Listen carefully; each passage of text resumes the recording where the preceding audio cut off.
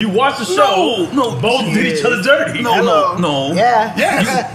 No, what Lawrence didn't give you a gift or something. Hmm? He didn't give you a gift or something. No, something. he was deadbeat at first to her, and Yeah, he He didn't. just, And he just was hurting. Like, It wasn't about the. Yeah, he was depressed. I think. I think both of them were at fault, and both of them did some immature things. right. But yeah, a lot of men took the the Yeah. cheating extremely personally. But it's so many stories You, you, with men you, you got here. black Twitter? Do I have black Twitter? you know, I, I mean, I get all my information from Black Twitter. That day on Black he Twitter, said, get, like it's an app. like, for him, it's an app. he only did hashtag. That's all I don't go did. on regular Twitter. I don't, I, I don't go on regular Twitter. I log hashtag, into. Black Twitter. I go in. I go regular Twitter and then Black Twitter, and I go there. And boy, was we having a morning day that day. We was like, man, this is some bullshit.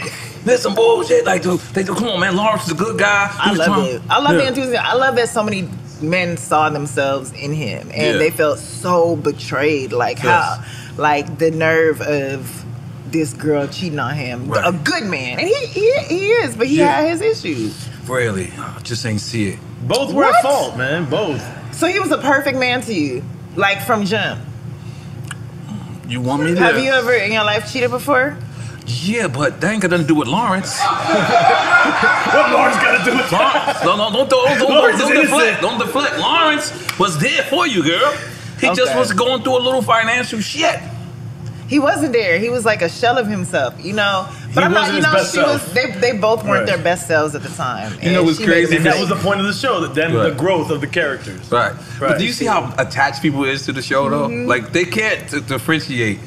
Like, like back in the days, I had a song called "What What," and I used to hate people coming up to me. What, what, yeah, what, what? I was like, what the fuck is you think I am? It's eight o'clock in the morning. I'm eating a bagel. And they like, what, what, what? And I imagine they coming up to you like, yo, like, and, and thinking you're this real character. That yeah, my real character. Uh, for a minute, like dudes were really like the insults got crazy, and my co-star. Wow.